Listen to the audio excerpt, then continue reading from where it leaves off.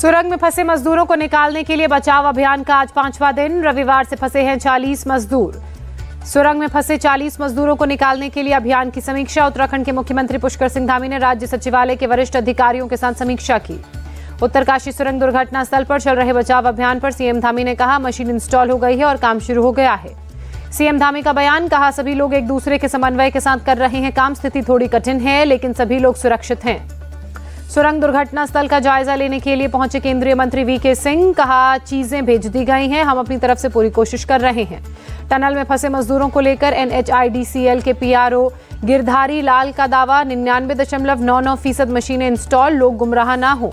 सुरंग में फिर मलबा गिरने से रेस्क्यू ऑपरेशन में आई दिक्कत। दिल्ली से ले जाई जाई गई हैवी ड्रिलिंग मशीन अंदर फंसे मजदूरों में से एक विजय से उसके पिता ने की बात। आज शाम तक सभी मजदूरों को निकाल लेने की जताई उम्मीद। कहा, सुरंग में भोजन पानी दिया जा रहा है।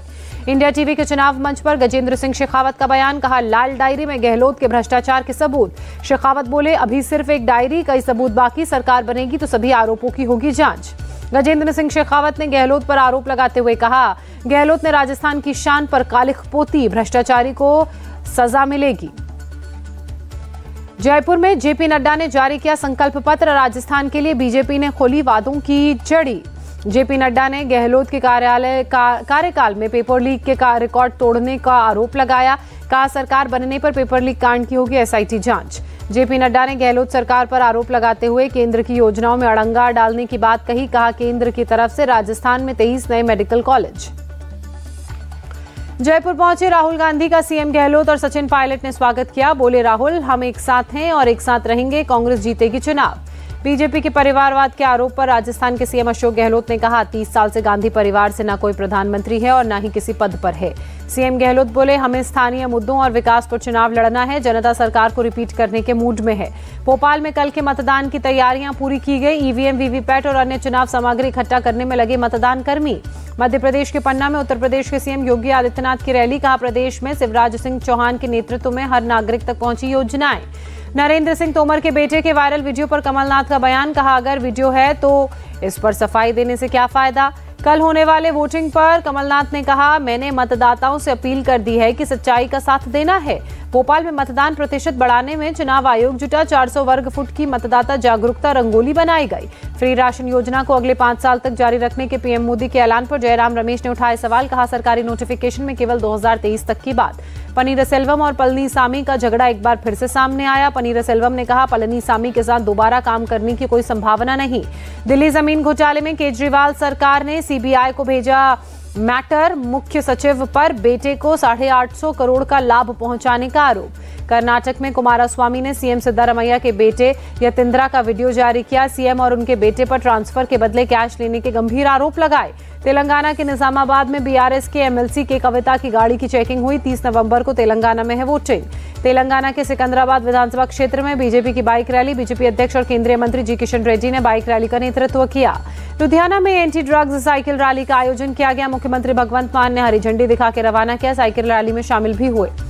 श्रीनगर में लाल चौक के घंटा घर में स्थापित पीएम मोदी का कटआउट बना। आकर्षण का केंद्र कटआउट के साथ लोग ले रहे हैं सेल्फी। सैन फ्रांसिस्को में केंद्रीय वाणिज्य और उद्योग मंत्री Piyush Goyal the institute of chartered accountants of India के सदस्यों से मुलाकात करते नज़र आए। पीयूष गोयल ने सैन फ्रांसिस्को में माइक्रॉन टेक्नोलॉजी के सीईओ और अध्यक्ष संजय मेहरोत्रा से मुलाकात की। भारत के बढ़ते सेमीकंडक्टर इकोसिस्टम प्रोडक्शन पर भी बात हुई। भारत म्यांमार सीमा के सीमावर्ती इलाकों में म्यांमारी सेना के हवाई हमले। म्यांमार के नागरिकों ने भागकर मिजोरम के जोखावथर क्षेत्र में शरण ली। न्यूज़ क्लिक टेरर मामले में ईडी का बड़ा एक्शन, अमेरिकी करोड़पति नेविल सिंघम को भेजा समन। चेन्नई के राधा कृष्णन स्ट्रीट में आयकर विभाग की कार्रवाई, कर्नाटक के कपड़ा व्यवसायी के आवास की तलाशी ली गई। जम्मू कश्मीर के पुंछ में तीन ड्रग तस्कर भाइयों के घर की कुर्की, गाड़ियों को भी पुलिस ने जब्त किया। इटावा में 12 घंटे में ही एक और ट्रेन में आग लगी। दरभंगा एक्सप्रेस के बाद वैशाली एक्सप्रेस ट्रेन के एस सिक्स कोच में आग लगी। पेंट्री कर्मचारियों और गार्ड ने आग पर काबू पाया।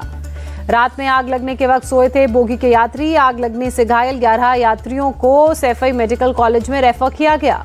Nai Delhi Darbhanga superfast express train की बोगियाँ जली, उनको हटाया गया। कल इटावा के पास ट्रेन में लगी थी आग। अंबाला में हरियाणा रोडवेज़ के एक ड्राइवर की हत्या हत्या के विरोध में बस हड़ताल से यात्री परेशान।